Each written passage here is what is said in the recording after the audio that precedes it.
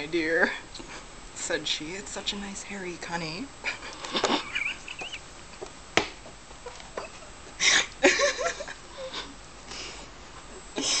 That's how I um, like them. That's my spot. he put up he put his hand up her clothes and wanted to look. Oh no.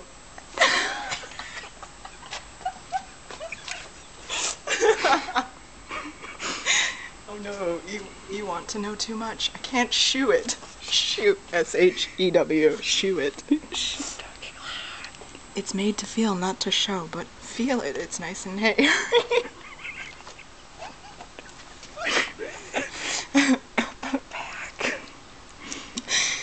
Oh, what a nice cock it is. How it longs to go up my little gunny. We could write this book all day. How stiff it is. Oh, what a nice cock. Are we done? No. oh no, I can't let you see it. Another time, she said, in reply to something he said. Oh, put it in, put it in. It's longing to go up my gunny. I have to go get something to drink. Leaning back against the bed, she hitched up her clothes, and I saw a pair of dirty spindle shanks nearly to her thighs. Jesus. Sounds dirty. She never le- left. She never left go of his cock, but pulled him towards her by it. Oh, it's up my cunny. How often?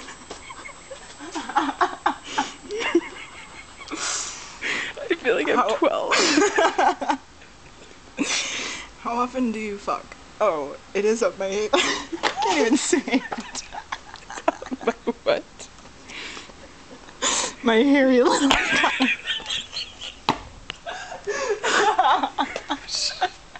We're gonna kicked out.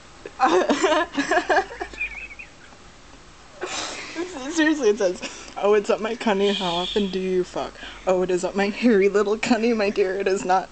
Is it? Is it not nice? Oh, fuck it. Fuck, fuck, fuck. Oh, isn't nice." He had clasped her somehow and was shoving rapidly. And spent almost before he began, for I heard a deep sigh from him, and he was quiet, whilst she kept on cackling. Oh, is it not a nice little cunny?